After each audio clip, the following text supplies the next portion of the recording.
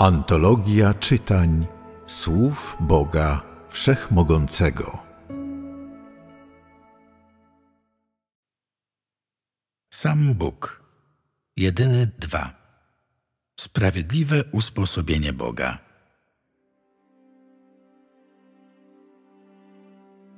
Chociaż gniew Boży jest ukryty i nieznany człowiekowi, nie znosi jednak obrazy. To, jak Bóg odnosi się do bezrozumnej, bezmyślnej ludzkości, opiera się przede wszystkim na miłosierdziu i tolerancji. Jednak z drugiej strony Jego gniew przez większość czasu jest ukryty, nieznany człowiekowi. W związku z tym trudno człowiekowi dostrzec Boży gniew i go zrozumieć. Człowiek nie traktuje więc poważnie tego gniewu. Kiedy staje w obliczu dzieła Boga i kresu Bożej tolerancji i wybaczenia, kiedy dociera do niego ostateczne miłosierdzie Boga i ostatnie ostrzeżenie, jeśli wciąż w ten sam sposób mu się sprzeciwia i nie okazuje skruchy, nie poprawia zachowania i nie przyjmuje Bożego miłosierdzia, Bóg nie będzie więcej okazywał tolerancji i cierpliwości. Wręcz przeciwnie, odstąpi od miłosierdzia, a potem uwolni swój gniew. Może go wyrażać na różne sposoby, tak jak może wykorzystywać różne sposoby, by karać i niszczyć ludzi. Bóg wykorzystał ogień do zniszczenia Sodomy jako najszybszy sposób na całkowite wymazanie z powierzchni ziemi ludzi czy rzeczy.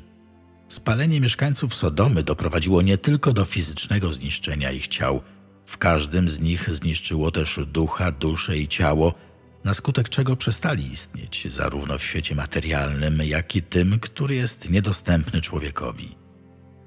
Jest to sposób, w jaki Bóg objawia i wyraża swój gniew. Sposób ten jest jednym z aspektów istoty boskiego gniewu, tak jak jest on też naturalnym objawieniem istoty sprawiedliwego usposobienia Boga. Kiedy Bóg zsyła swój gniew, przestaje okazywać litość i miłosierdzie, nie jest już wyrozumiały i cierpliwy. Nie ma człowieka, rzeczy ani racji, które mogłyby go przekonać, by wciąż pozostawał cierpliwy, by znów okazał miłosierdzie, by wrócił do tolerancji. W miejsce tych rzeczy bez chwili wahania Bóg przejawia swój gniew i majestat, realizuje swoją wolę, robi to szybko i czysto zgodnie z własnym życzeniem. W ten sposób Bóg okazuje swój gniew i majestat, których człowiekowi nie wolno obrażać i które są również wyrazem jednego z aspektów jego usposobienia do sprawiedliwości. Kiedy ludzie są świadkami Boga okazującego niepokój i miłość względem człowieka, nie potrafią dostrzec jego gniewu, widzieć jego majestatu, ani odczuć jego nietolerancji wobec wykroczenia. Przez to ludzie od zawsze uważają, że sprawiedliwe usposobienie Boga składa się wyłącznie z miłosierdzia, tolerancji i miłości. Jednak gdy widzi się go jako niszczącego miasto lub nieznoszącego ludzi, jego gniew niszczący człowieka i jego majestat pozwalają ludziom zobaczyć drugą stronę jego sprawiedliwego usposobienia. Jest nią Boża nietolerancja wobec wykroczenia. Boże usposobienie, które nie toleruje żadnego wykroczenia, przekracza wyobraźnię wszystkich stworzeń i żadne istoty niestworzone nie mogą mu przeszkodzić ani mieć na niego wpływu. Co więcej, jego usposobienie nie może być personifikowane ani naśladowane. Usposobienie Boga pozostaje więc tym, które ludzkość powinna najlepiej poznać. Tylko Bóg ma takie usposobienie i tylko w nim się ono przejawia. To w Bogu ujawnia się usposobienie do sprawiedliwości, ponieważ nienawidzi on zła, ciemności, buntu i godnych potępienia uczynków szatana, deprawowania i niszczenia ludzkości ponieważ nienawidzi on wszelkiego grzechu przeciwko niemu ze względu na swoją świętą i przeczystą istotę. To właśnie dlatego nie może on zgodzić się na to, by któraś z istot stworzonych lub niestworzonych sprzeciwiała mu się lub otwarcie próbowała z nim walczyć. Nawet jednostka, której okazał kiedyś miłosierdzie lub którą wybrał, jeżeli sprowokuje jego usposobienie i złamie jego zasadę okazywania cierpliwości i tolerancji, Wówczas uwolni i ujawni on swoje usposobienie do sprawiedliwości, nie okazując najmniejszego miłosierdzia i wahania. Jest to usposobienie, które nie znosi obrazy. Gniew Boga chroni wszystkie sprawiedliwe siły i pozytywne rzeczy. Czy rozumiejąc te przykłady Bożej mowy, Bożych myśli i działań, potrafisz pojąć, na czym polega sprawiedliwe usposobienie Boga? Usposobienie, które nie znosi obrazy? Jest to ostatecznie wyjątkowy aspekt usposobienia Boga, niezależnie od tego, ile człowiek może zrozumieć. Nietolerancja Boga wobec obrazy to jego wyłączna istota. Boży gniew to jego wyłączne usposobienie. Majestat Boga to jego wyłączna istota. Zasada rządząca Bożym gniewem ukazuje tożsamość i status, które posiada tylko On sam. Nie trzeba podkreślać, że to także symbol istoty jedynego, prawdziwego Boga. Boże usposobienie to Jego własna, immanentna istota. Nie ulega ona zmianom w miarę upływu czasu, ani wraz ze zmianą miejsca. To nieodłączne usposobienie stanowi część Jego najgłębszej istoty. Niezależnie od tego, nad kim on pracuje, jego istota się nie zmienia, podobnie jak jego sprawiedliwe usposobienie. Kiedy ktoś wywoła gniew Boga, Bóg korzysta ze swojego immanentnego usposobienia. Zasada stojąca za jego gniewem nie zmienia się, podobnie jak jego wyjątkowa tożsamość i status. Nie unosi się on gniewem z powodu zmiany w swej istocie lub na skutek różnych elementów wynikłych z jego usposobienia – ale dlatego, że ludzki opór przeciw niemu stanowi obrazy jego usposobienia. Rażąca obraza Boga przez człowieka to poważne zakwestionowanie Bożej tożsamości i pozycji. Z punktu widzenia Boga jest to wtedy, gdy człowiek rzuca mu wyzwanie, powstaje przeciwko niemu i wystawia na próbę jego gniew. Kiedy człowiek sprzeciwia się Bogu, kiedy przeciw niemu występuje, kiedy wystawia na próbę jego gniew, kiedy szaleje grzech, Gniew Boga oczywiście ujawni się i objawi. Dlatego objawienie się gniewu Boga oznacza, że wszelkie siły zła nagle przestaną istnieć. Symbolizuje to, że wszystkie wrogie moce zostaną zniszczone. Na tym polega wyjątkowe, sprawiedliwe usposobienie Boga i wyjątkowość Jego gniewu. Kiedy godność oraz świętość Boga zostają wystawione na próbę, kiedy siły sprawiedliwości są zwalczane, a człowiek tego nie dostrzega, Wtedy Bóg zsyła swój gniew. Z uwagi na istotę Boga, wszystkie siły na ziemi, które walczą z Bogiem, sprzeciwiają się Mu i z Nim rywalizują, są złe, zepsute i niesprawiedliwe.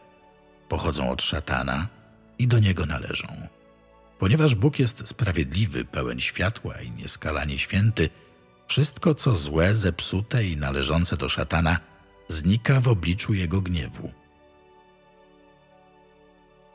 Chociaż wybuch Bożego gniewu to jeden z aspektów i wyraz jego usposobienia do sprawiedliwości, jego gniew w żadnym razie nie jest bezkrytyczny, jeśli chodzi o cel i nie jest pozbawiony zasad.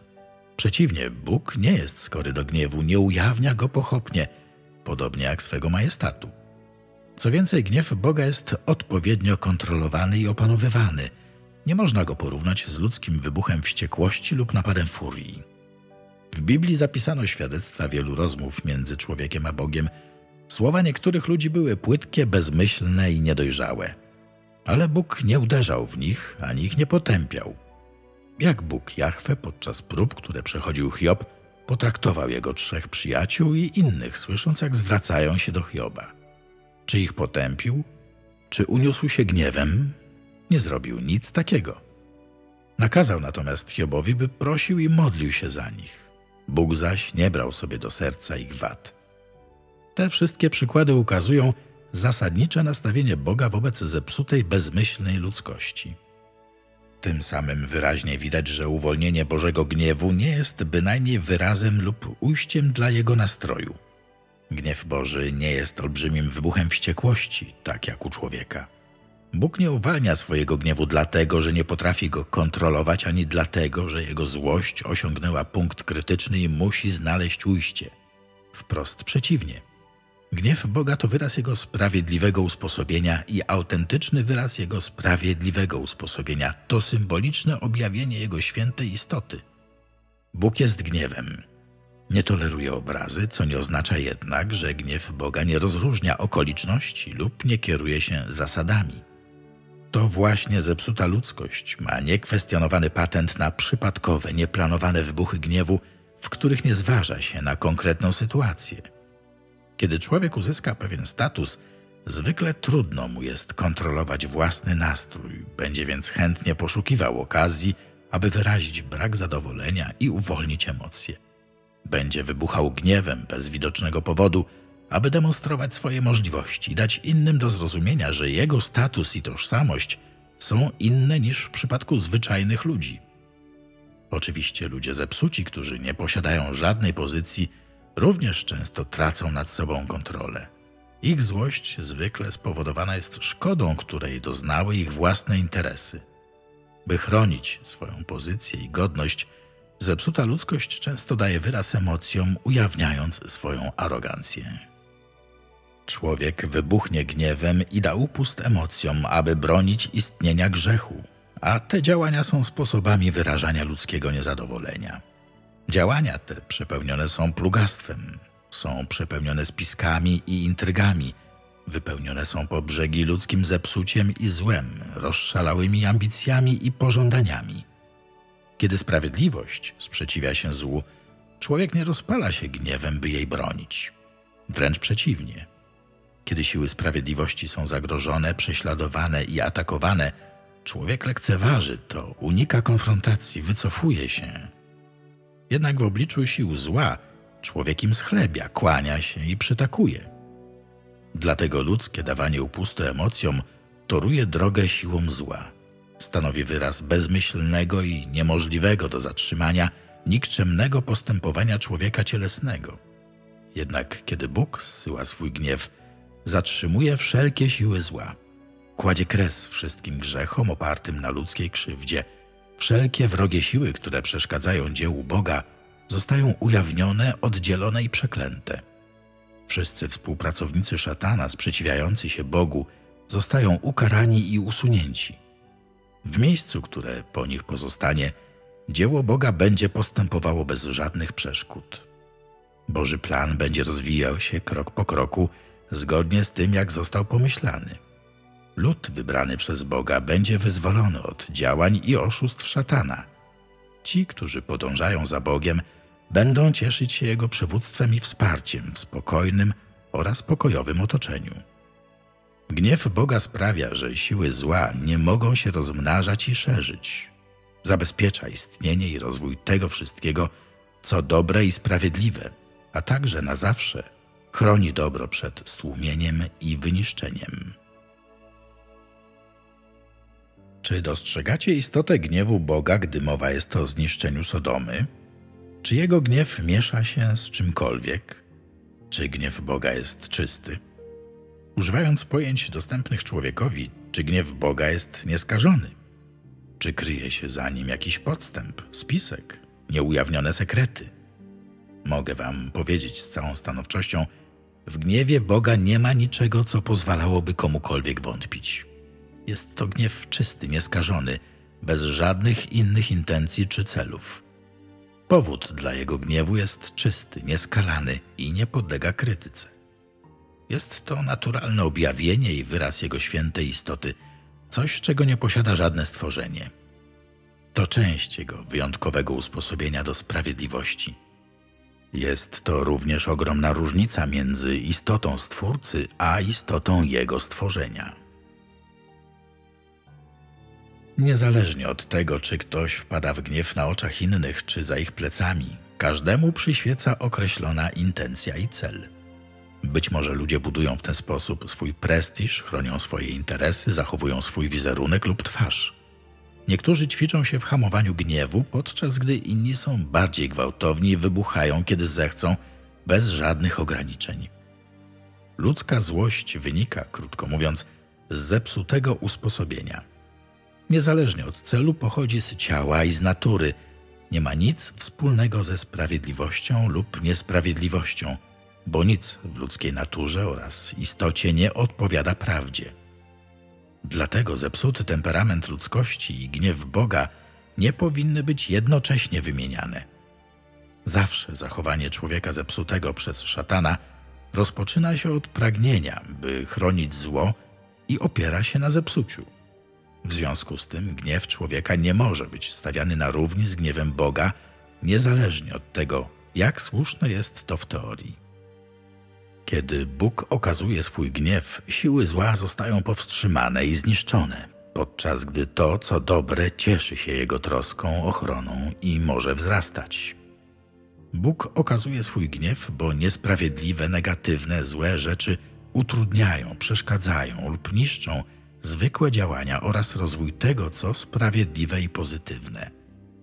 Celem gniewu Boga nie jest ochrona Jego statusu i tożsamości, ale obrona istoty tego, co sprawiedliwe, dobre i piękne.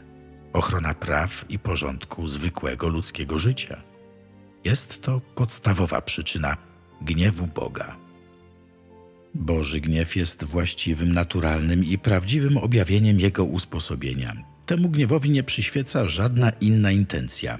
Nie ma w nim oszustwa ani intryg, a ponadto w Jego gniewie nie ma porządliwości, przebiegłości, złośliwości, przemocy, zła, ani czegokolwiek, co wspólne jest dla całej zepsutej ludzkości. Zanim Bóg okaże swój gniew, widzi jasno i wyraźnie istotę każdej sprawy oraz ma dokładne, jasne definicje i wnioski. Dlatego cel Boga we wszystkim, co robi, jest przeczysty, podobnie jak jego postawa. Nie postępuje on w sposób nieuporządkowany, nie jest ślepy, nie działa impulsywnie, nie jest niedbały bądź bez zasad. To praktyczny aspekt gniewu Boga i właśnie w związku z tym praktycznym aspektem ludzkość może normalnie funkcjonować. Bez gniewu Boga gatunek ludzki zniżyłby się do życia w nienormalnych warunkach. Wszystko, co sprawiedliwe, piękne i dobre, uległoby zniszczeniu i przestało istnieć. Bez gniewu Boga prawa i porządek rządzące stworzeniem zostałyby złamane lub nawet całkowicie odwrócone. Od momentu stworzenia człowieka Bóg wciąż korzystał ze swojego sprawiedliwego usposobienia, by chronić i wspierać normalną egzystencję rodzaju ludzkiego. Ponieważ jego sprawiedliwe usposobienie mieści w sobie gniew i majestat, wszyscy źli ludzie, złe rzeczy, przedmioty i wszystko, co przeszkadza rodzajowi ludzkiemu w normalnej egzystencji, podlega karze, kontroli i zniszczeniu za sprawą jego gniewu. Przez ostatnich kilka tysiącleci Bóg wciąż korzystał ze swojego sprawiedliwego usposobienia, by uderzać we wszelkie nieczyste i złe duchy sprzeciwiające się mu i działające jako wspólnicy i komornicy szatana w jego dziele zarządzania ludzkością. Tak więc Boże dzieło zbawienia człowieka może dzięki temu zawsze postępować zgodnie z Bożym planem. W ten sposób, dzięki istnieniu gniewu Boga, najbardziej sprawiedliwa idea ludzkości nigdy nie została unicestwiona. Teraz, kiedy zrozumieliście istotę gniewu Boga, z pewnością jeszcze lepiej wiecie, jak rozpoznać zło pochodzące od szatana. Chociaż szatan wydaje się ludzki, sprawiedliwy i cnotliwy, w istocie jest on okrutny i zły. Szatan zawdzięcza swoją sławę uwodzeniu ludzi. Częstokroć mieni się on bojownikiem i wzorem prawości. Pod sztandarem obrońcy prawości krzywdzi on ludzi, pożera ich duszę i posługuje się wszelkimi środkami, by ogłupić, zwieść i podburzyć człowieka. Jego celem jest sprawienie, by człowiek go zaaprobował i poszedł za jego złym przykładem. Sprawienie, by razem z nim człowiek przeciwstawił się autorytetowi i władzy Boga. Gdy jednak zaczyna się rozumieć zamysły szatana, jego intrygi, jego podłość i kiedy nie chce się nadal być deptanym, oszukiwanym przez szatana, gdy nie chce się w dalszym ciągu być jego niewolnikiem, ani nie chce się wraz z nim być ukaranym i zniszczonym, szatan odmienia swoje wcześniejsze świętoszkowate oblicze, zrywa fałszywą maskę, ukazując swą prawdziwą, nikczemną, okrutną, szpetną i dziką twarz. Niczego bardziej by nie pragnął, jak tylko wytępić tych wszystkich, którzy nie chcą pójść za nim, przeciwstawiając się siłom zła. Na tym etapie szatan nie może już przybierać budzącej ufność, dystyngowanej postaci, zamiast niej ukazując pod płaszczykiem niewinności swe prawdziwe, odrażające diabelskie cechy. Zaledwie zamysły szatana ujrzą światło dzienne, a jego prawdziwe cechy zostaną wyeksponowane, wpadnie on we wściekłość, ukazując całe swoje barbarzyństwo. Zaś jego pragnienie, by zaszkodzić ludziom i ich pochłonąć, tylko się pogłębi. Jest tak, ponieważ szatana rozsierdza przebudzenie człowieka. Szatan bardzo chce się na nim zemścić za jego aspiracje i tęsknotę za wolnością i światłem i pragnienie uwolnienia się z więzienia. Owa wściekłość ma na celu obronę zła, jest też prawdziwym objawieniem dzikiej natury szatana. W każdej ze spraw zachowanie szatana odsłania jego złowrogą naturę.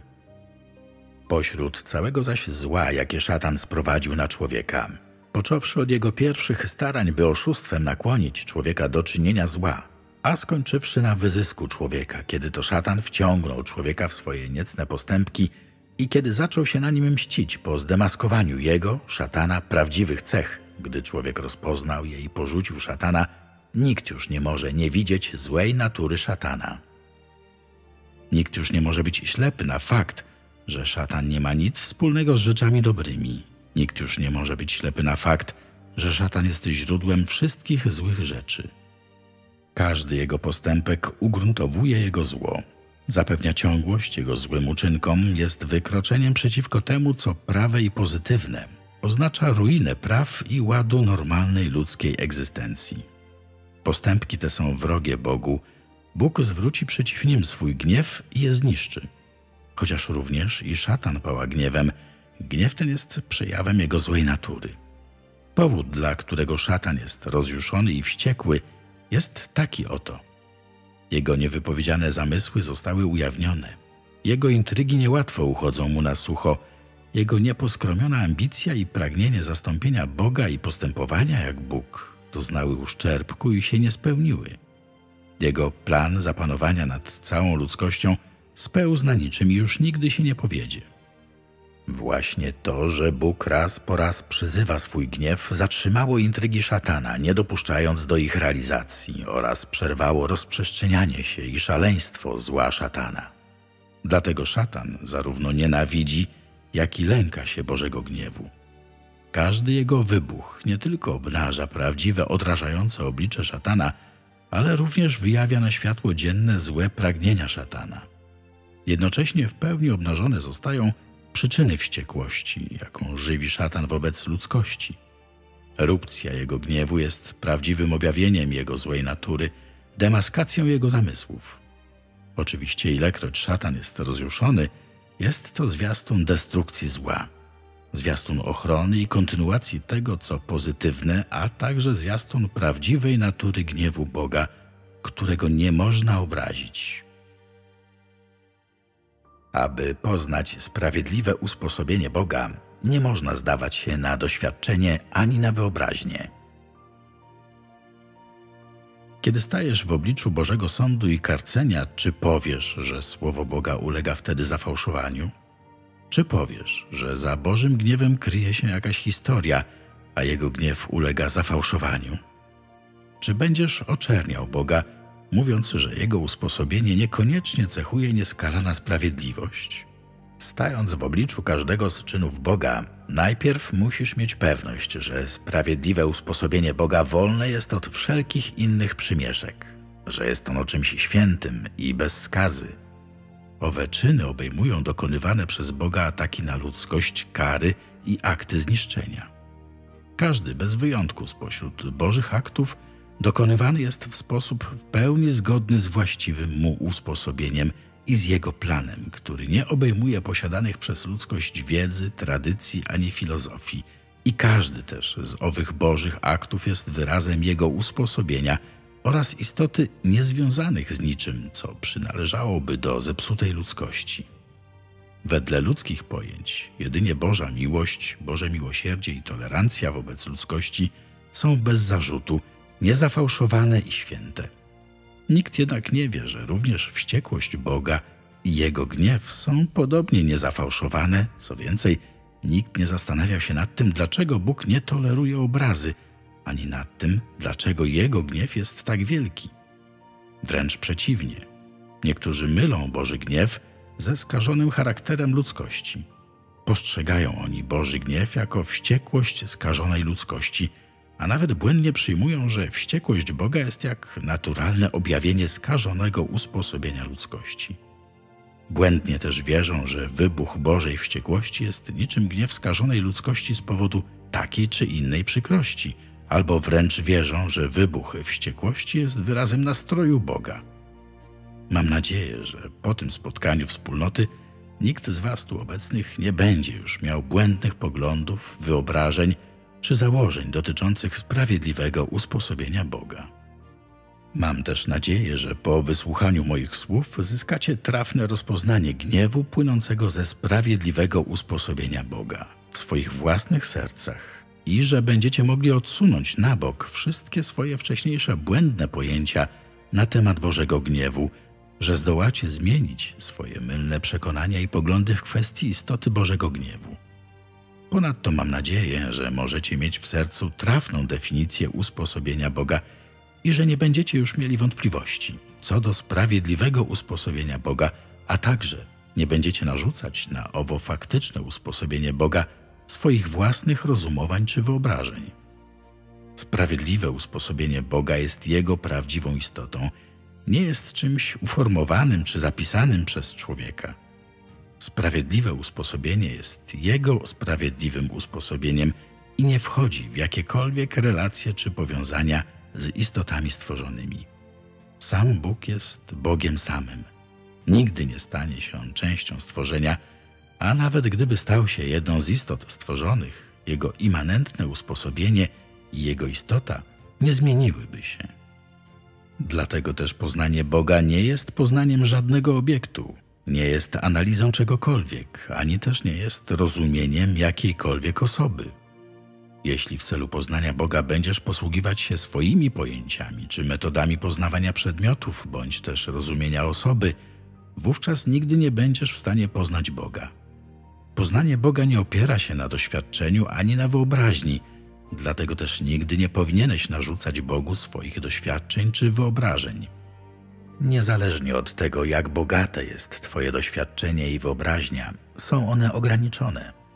Co więcej, Twoja wyobraźnia nie odpowiada faktom, w jeszcze mniejszym stopniu odpowiada ona prawdzie i jest nie do pogodzenia z prawdziwym usposobieniem oraz istotą Boga. Nigdy ci się nie powiedzie, jeśli będziesz się opierać na swojej wyobraźni, chcąc zrozumieć istotę Boga. Jedyna droga jest taka oto: przyjąć wszystko, co pochodzi od Boga, a następnie stopniowo tego doświadczać i osiągać zrozumienie. W końcu nadejdzie dzień, w którym Bóg Was oświeci, byście mogli naprawdę Go zrozumieć i poznać dzięki wzajemnej współpracy i dzięki swemu łaknieniu i pragnieniu prawdy. Na tym zakończmy tę część naszej rozmowy.